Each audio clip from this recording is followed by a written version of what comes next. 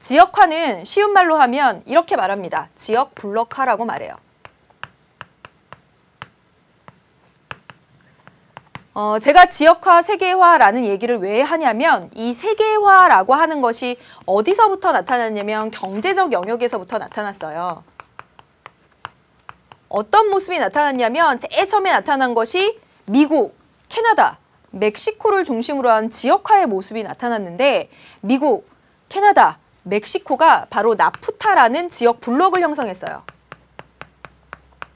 어떻게 된 거냐면 자 보세요. 여기 위에 캐나다 있습니다.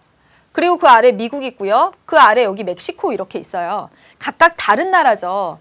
다른 나라는 각각의 다른 나라, 일본 있고 옆에 중국 있지만 각각의 다른 나라를 이렇게 왔다 갔다 할 때는 뭐 우리가 진짜 뭐 여건도 있어야 되고 그리고 왜 국가의 허락을 받아서 왔다 갔다 할 수 있는 거죠. 미국, 어, 일본이나 중국의 상품이 우리나라에 들어오려면 어떤 절차를 거쳐서 들어오고 수입하고 수출하고 합니다. 그게 국경이라는 장벽이 존재하기 때문이에요. 그런데 그런데 어, 이 미국, 캐나다, 멕시코에서 어떻게 했냐면 나프타라고 하여서 자유무역 협정을 만든 겁니다. 일명 FTA라고 하는데 FTA가 굉장히 일반적으로 됐죠. 그래서 FTA의 처음 시작이 바로 나프타입니다. 그래서 이거 어떻게 했냐면요. 국경의 장벽을 허무는 거예요.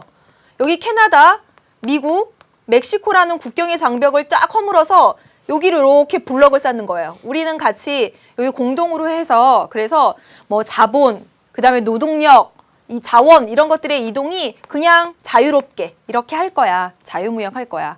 그리고 이 여기 여기 원래는 세 나라로 이렇게 나누어져 있지만 이 세 나라 가운데는 관세도 매기지 않을 거야. 관세가 뭐죠? 다른 나라에서 수출품이 들어올 때 그럴 때 관세를 매깁니다. 왜냐하면 다른 나라 수출품이 들어와서 우리나라의 상품이 정말 이렇게 경쟁에서 밀리고 우리나라 산업이 이렇게 밀리게 될까 봐 다른 나라 상품이 들어오면 그냥 관세를 매기, 매기게 되죠. 우리나라에서 수입차가 비싼 이유는 수입차에 관세를 매기기 때문에 그래요. 우리나라 자동차 산업을 보호하기 위해서입니다. 그런데 여기 우리는 이렇게 블럭을 쌓을 거야. 지역화할 거야. 그래서 여기 국가 간의 장벽을 허물 거야. 그래서 한 나라처럼 경제 활동을 할 거야. 이게 바로 지역화입니다. 이 지역화가 전 세계적으로 확대되는 모습들. 그래서 지역화는 세계화의 반대말이 아니에요. 이 지역화는 자유무역의 한 종류입니다. 그러면서 이 세계화는 바로 WTO라는 것 때문에 더욱 가속화됩니다. WTO, 세계무역기구. 그렇죠? 여기 여기가 바로 자유무역을 강조하거든요. 자유무역의 반대가 뭐죠? 방금도 말씀드렸다시피 보호무역입니다.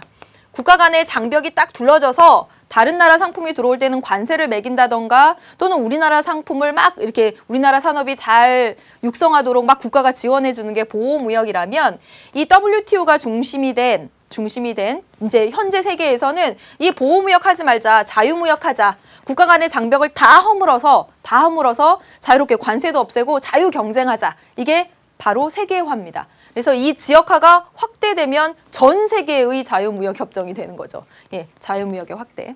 예, 이게 현재 보여지고 있는 모습이에요. 그래서 경제적 영역에서부터 지금 어때요? 국가 간의 장벽을 이렇게 허물었죠.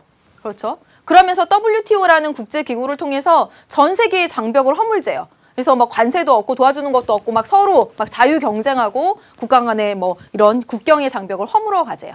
그래서 이것들이 이것들이 경제적 영역뿐만 아니라 정치, 사회 문화 모든 영역으로 퍼져나가는 현상 이것을 세계화라고 합니다. 세계화는 뭐와 다르냐면 국제화와 달라요. 국제화와 다릅니다. 이거 많이 헷갈리는 학생들도 있나요? 국제화는요. 국제화는 국가 간의 교류가 활성화되는 것. 이게 국제화예요. 국제화는 국가가 존재하는 겁니다. 분명히. 국가 간의 막 교류가 활성화되고 국가 간의 관계 이런 것들을 말할 때 국제화라고 얘기하는 거고 세계화는 여기 지역화에서도 보여주시다시피 그냥 국경의 장벽을 허물어 버리는 거죠. 전 세계적으로 국경의 장벽을 허물어서 자유롭게 막뭐 무역하자 이런 거니까. 그래서 여기 세계화와 국제화는 분명히 다른 개념입니다.